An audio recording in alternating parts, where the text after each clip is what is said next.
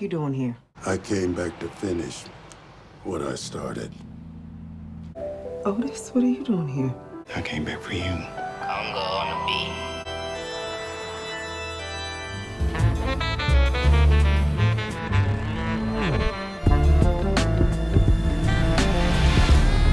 What's up, YouTube? It's your boy Marc Dark, and I'm back with another video. If you're new, if you love the Chi, go ahead hit that subscribe button. Like the video leave your theories, comments, everything down below. Now today we're going to be talking about the Chi Season 5, Episode 1. This is the recap. Now I'm going to try my best to focus on all the key points in this episode. If I miss anything, you guys let me know down below.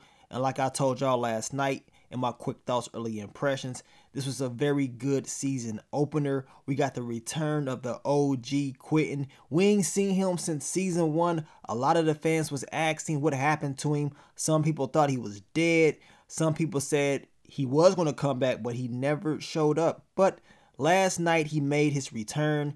And as he told Tracy, he is coming back to finish what he started. So we're to see exactly what your boy Q is to be on in season five. I'm glad that we're seeing him and Douda working together. I just can't wait to see how it's all going to end. At the same time, in this episode, man, your boy Papa, he said, you know what? I'm tired of everybody running their mouth about my podcast, about me. I'm to let the people know exactly how I feel. And him and Jake, they went at it, man. So we're to talk about that as well in this video. And what did y'all think about Emmett and Tiff finally she has told him she doesn't want to be his wife anymore.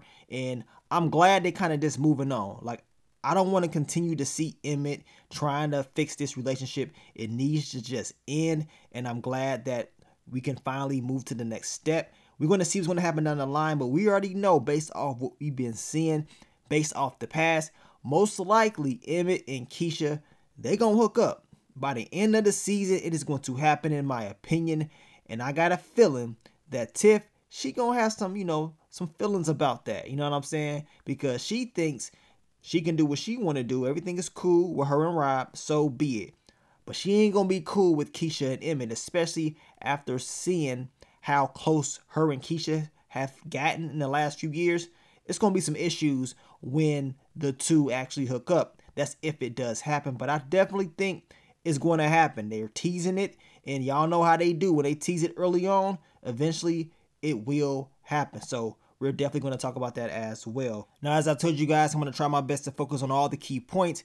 If I miss anything, you guys let me know down below. So let's begin. What do we see in season five, episode one? It starts out with a banger. You know what I'm saying? They playing the Brat in the background. Of course, Emmett, he's already clapping those cheeks. And I'm thinking like, man, Emmett and Keisha, they're finally back together.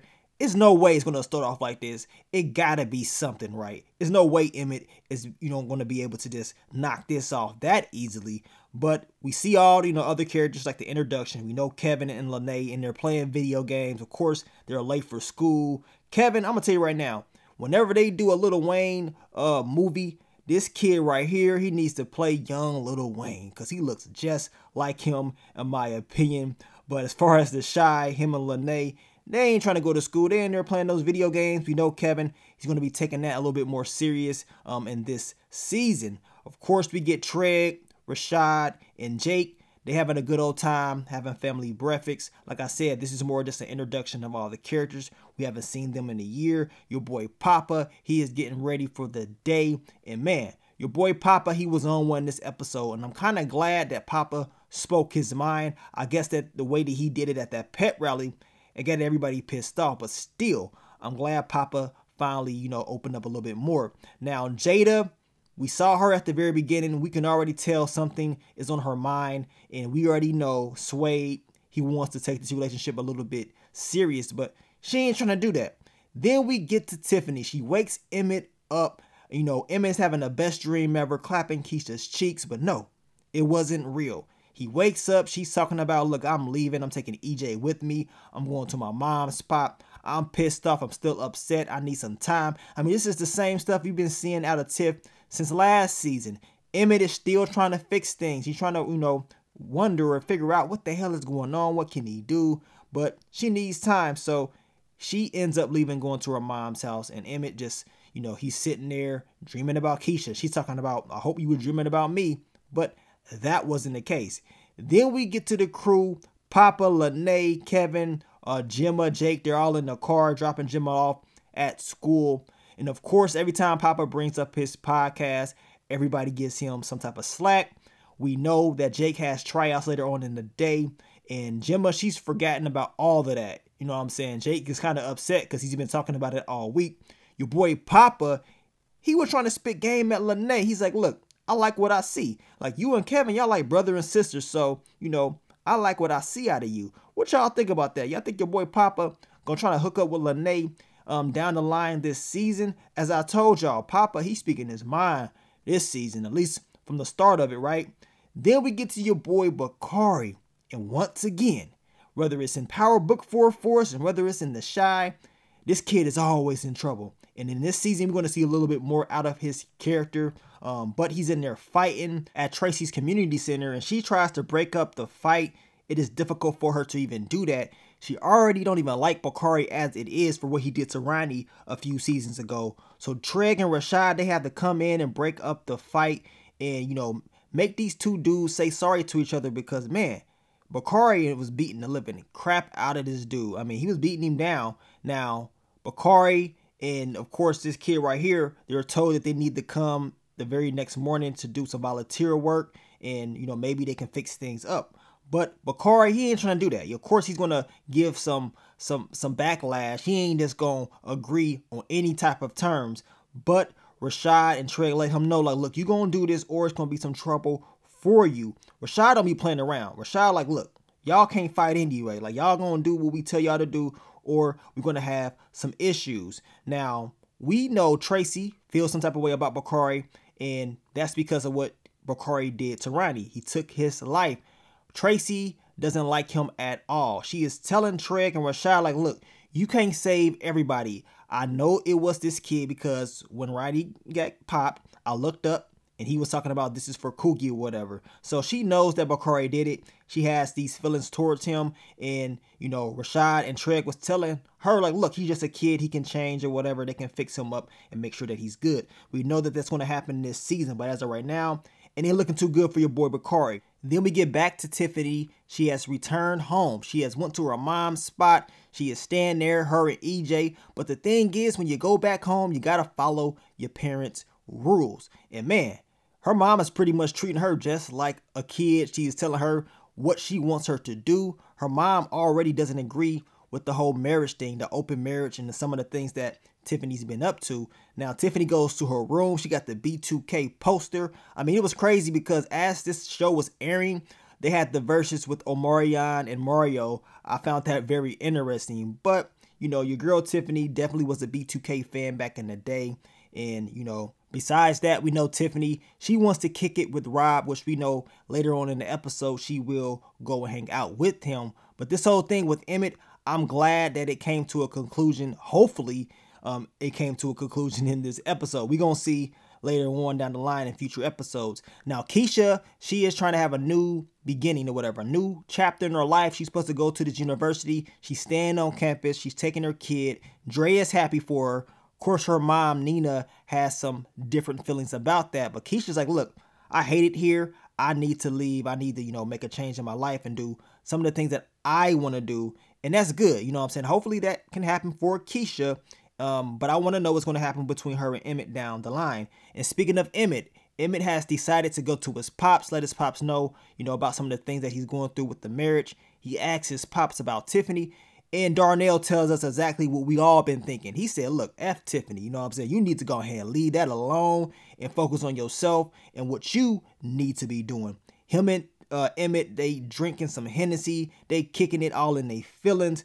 Your boy Darnell had me cracking up. Once again, he got the Bluetooth on. Um, of course, he is telling Emmett that he be having dreams too about Emmett's mom, Jada. You know what I'm saying? He was talking about how he was clapping Dom's cheeks and, you know, in order for him to finish, he started to think about Jada and boom, you know what I'm saying? He finished. Of course, Emmett, he was like, hell nah, ain't no way. He ain't trying to even envision that, right? But Emmett needs to take his pop's advice. I mean, you probably need to go ahead and leave Tiff alone and focus on what you really want to do, right? And at the same time, we know Emmett really has feelings for Keisha. I've been talking about this for years and years and years. So hopefully in this season, we're able to see that um, later on as these episodes air out. Then we get to Treg and Rashad. They had went to the store, the ring store, to get a ring for Imani. Treg has decided that he wants to take the relationship to the next level. He wants to settle down. The funny thing about this is we all know Imani would not be in this season. It was already announced months ago that she would not be in the season. So I'm thinking like, man, what's going to happen? Are they going to have a new actor that's going to play her or whatever? But we know once we saw it, that was not the case. As I told you, my prediction is Treg will most likely hook up with Douda's god niece she should be coming on later down the line. I believe her name is Tiara, but we should be seeing more about her character in future episodes. Then we get to your boy Emmett. He has decided to go to Tiff's mom's house, let Tiff know exactly how he feels, and he is still trying to fix this marriage. Now, I talked about this in my final predictions video in the description, and I stated that Emmett will try to fix the marriage. A lot of you guys was talking about why is Emmett trying to fix this? Well, I don't even know why the dude trying to fix it, but hey, I guess he really loved Tiff and he felt like this was the best way. The dude was all drunk, throwing up and everything. He goes into the house, has a conversation with Tiff, tells her, look, come home. He's trying to fix it. He loves her. Tiff ain't trying to hear any of that. Tiff is like, look, I don't think I really want to be your wife anymore. And I'm glad that she said this because Emmett will continue to try to be with her. Go ahead and focus on other people. You know what I'm saying?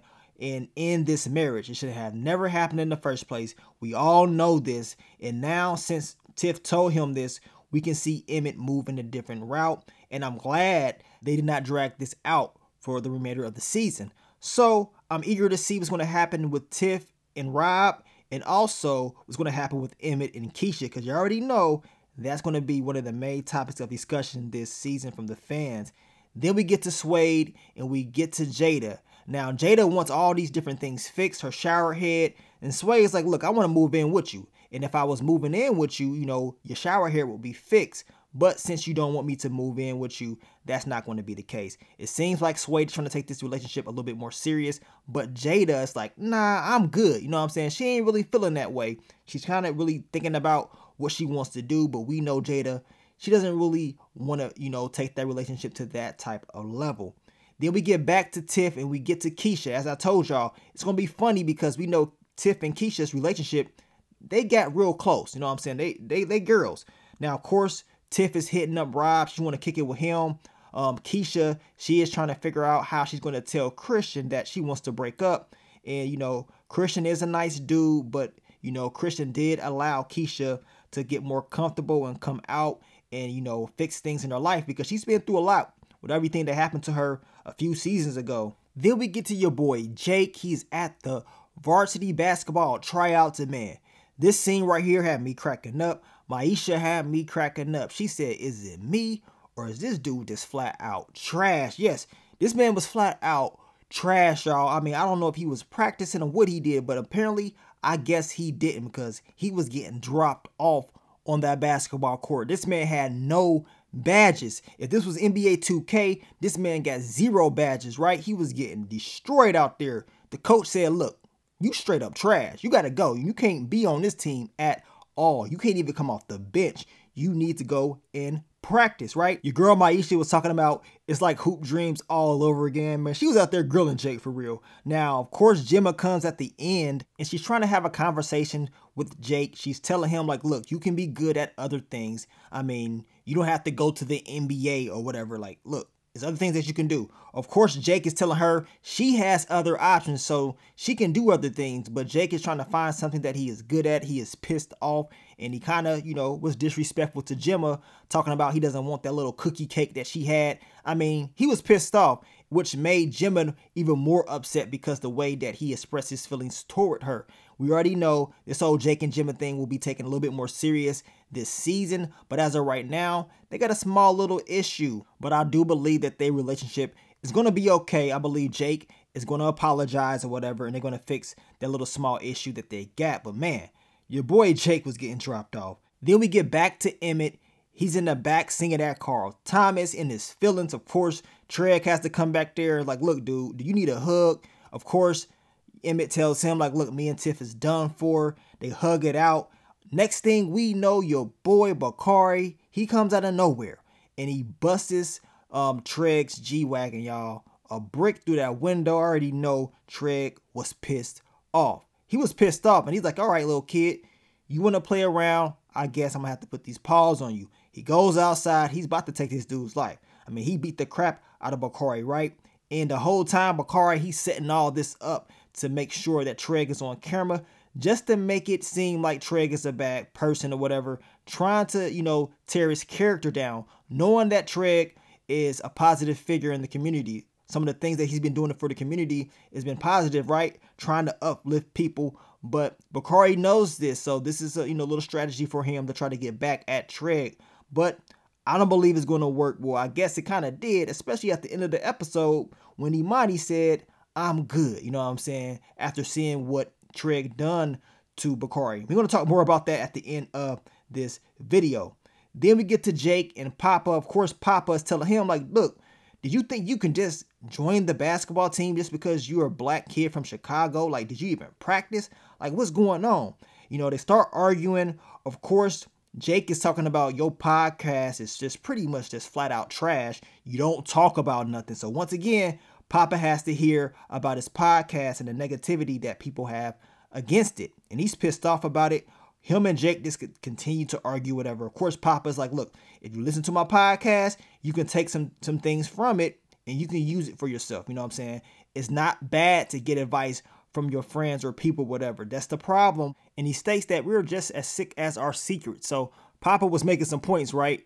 And they just had an argument. Of course, Kevin, he ain't trying to hear any of that. He's trying to play his game. He's like, look, both of y'all shut up. I'm trying to focus right now. But we know it ain't over between Papa and Jake. It's just begun. Then we get to Keisha. Keisha has decided to send Christian a voice message, pretty much breaking up with him. She's thanking him for, you know, helping her fix her life. You know, Christian made her more comfortable as far as dating again and then getting out there, meeting people. And he's a good dude but she's waiting for his response later on in the episode. Now, Tiffany, she has contacted Rob. They're FaceTiming. She's like, look, she's tired of being at her mom's spot. Of course, Rob's telling her just to come there. He doesn't care about if EJ is with her or not. He just wants her to come there so he can support her. So we know that Tiff, you know, at first she was kind of hesitant, but we know down the line she's going to go over Rob's and kick it with him. Then we get back to Jada and Suede and you know, Jada is pretty much telling Sway like she's cool being alone as far as at the house. Um, she didn't know how much she really enjoyed it. And Suede is pissed off because Suede wants to take this relationship to the next level. And Suede was like, look, so I guess you just cool with me being your task rabbit. So Sway is like, screw all that. You want me to sit up here, come in, give you these massages, clap those cheeks, fix stuff, and then just leave. He ain't trying to have that. He is trying to really take this relationship to the next level. But no, Jada's an OG. She's cool being by herself. She ain't really trying to be doing all that. And at the end of the day, it takes the right person to be with Jada. And unfortunately, Suede is not that person. Yes, he's fun to be with, but Jada has a type, which we know for real.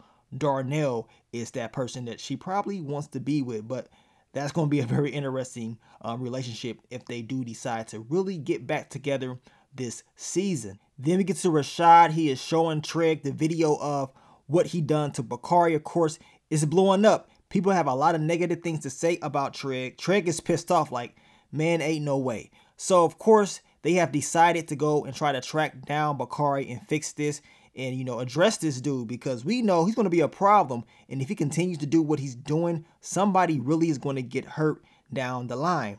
Now we get to marcus. He's still recovering from that beating that Douda gave him last season. We saw him with the cane but we know gemma she is taking a mental health day because she's in her feelings because of what happened with her and jake. Now he is telling his daughter some good advice in my opinion telling her that look, if Jake is going to continue to disrespect you and do some of the things that he's doing, maybe you should step away. Maybe you should give him some time and give yourself some time. And, you know, maybe he will, you know, fix the things that he is doing. You can't allow a person to walk over you. I didn't raise you like that. And, you know, hopefully, you know, your relationship with Jake can actually improve. So Jim is going to take her father's advice. And most likely, Jake is going to apologize and try to fix things between him and Gemma. Then we get back to your boy Papa and Jake the pep rally. Man, once again, your boy Papa had me cracking up. And he came at Jake real hard. He said, Look, we got to take a moment of silence for my boy Jake. He's still here, but his basketball career is pretty much dead. Talking about how he fell, no one pushed him, he was getting destroyed at basketball practice or whatever tryouts. I mean, he was pretty much telling him like, look, this was what happens when you don't have a, you know a positive black male in the household. Jake was pissed off. He said, "Look, your dad ain't nothing." Of course, Papa came back at him and said, "At least I got a dad." And Papa was feeling himself. Papa was like, "Look, maybe if you know you all had uh, you know a positive black male in the household, y'all will all be better at life." And everybody took that to heart. Lene took that to heart. Everybody in the crowd took it to heart, and they all was throwing stuff at Papa. I mean, he was doing his thing when it was just him and Jake, but once he said everybody will be all right if y'all had a positive black male in your household, they took it to the heart, and of course they took their feelings out on Papa. But as of right now, Papa and Jake they are not on good terms in season five. But I am glad that Papa is opening up a little bit more, letting people know exactly how he feel and not just sitting back allowing people to run their mouth to him no more. So we're gonna see how it's gonna end as the season continues to air out. But what do y'all think about your boy Papa in episode one? Then we get back to Bakari. Treg and Rashad have found him and they're telling him, like, look, you need to change your ways. You need to stop doing what you've been doing. Of course, Rashad is telling him he knows how it is to be him because he used to be him. Of course, Bakari ain't trying to hear it. He's like, look, you don't know how it is to be me. Then your boy Treg is like, look, I know how it feels to catch a body. Like, dude, like you don't even have a clue, right? Now, of course, Treg tells him, like, look, all that weed smoking ain't gonna change the fact. You still gonna feel that pain for what you've done. And you know, you need to change your ways, bruh.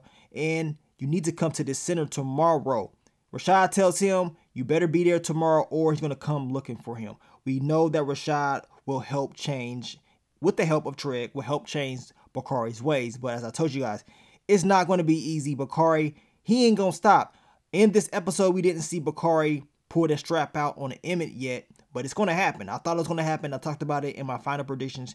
It has not happened yet, but it is happening down the line, in my opinion. But what do y'all think about your boy Bakari so far um, in episode one?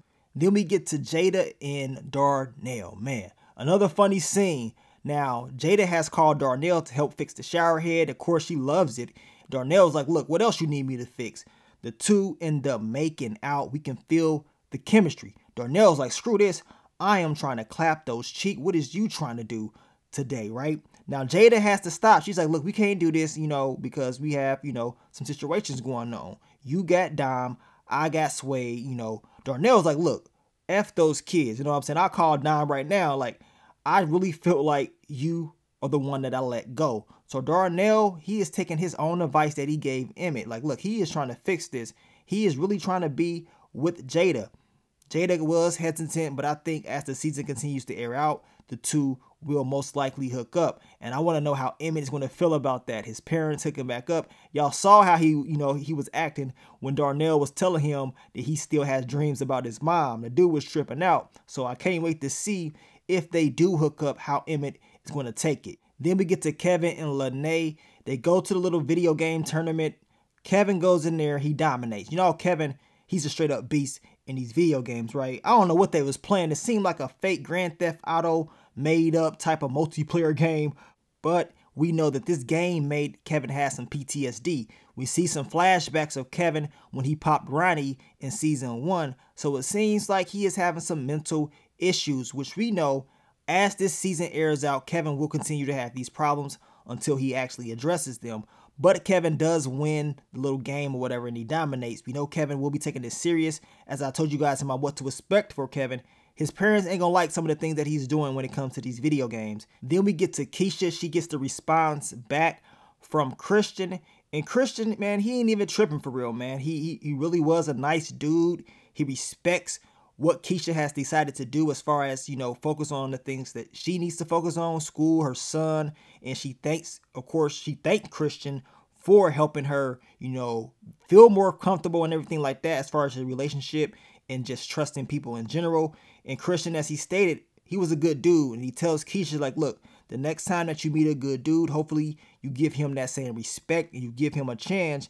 And, you know, just letting you know that all good dudes ain't bad or whatever. And, you know, hopefully you will never forget me and the things that I've done for you. So, Christian, man, shout out to you, man. Um, hopefully everything is good with him. I know a lot of people was asking about his character, but we thought that something was going on with him last season, at least me. But it turns out that the dude really was just a good dude, and you know he wasn't trying to screw Keisha over at all. Then we get to Rob and Tiffany. Tiffany has decided to go over there with EJ. She's gonna stay with Rob. She's tired of staring, staying at home with her mom's, right? Rob is making her real comfortable. He ain't trying to press or whatever, trying to, you know, act like he's trying to really clap those cheeks. But I guess these two are going to become closer in this season. And from the looks of it, it seems like Rob actually likes her and Tiffany likes him. As I told you guys, he's going good right now. But how will Tiffany feel once I believe, you know, Emmett and Keisha does decide to get back together or hook up? That's what I'm waiting for, but we gonna see. Now, earlier on in the episode, we know that Treg asks Emmett, can he use the spot to propose to Imani? Now it is time to propose, right? Now, Imani's friend, Latrice, she comes in and she lets Treg know that, look, Imani's going to stay in St. Louis. She saw the video of you and what you did to Bakari, and she's decided to stay there and take some time and to think about what the hell is going on. It's crazy because we know what Bakari did to Imani. You guys remember last season. Bakari pretty much disrespected the hell out of Imani. I mean, calling her names and all this that, telling her that, look, I know you a dude and all this. I mean, he was dogging her out. So for her to have these feelings to Treg, I don't know about that. You know, I was hoping maybe he can have a conversation with her at least.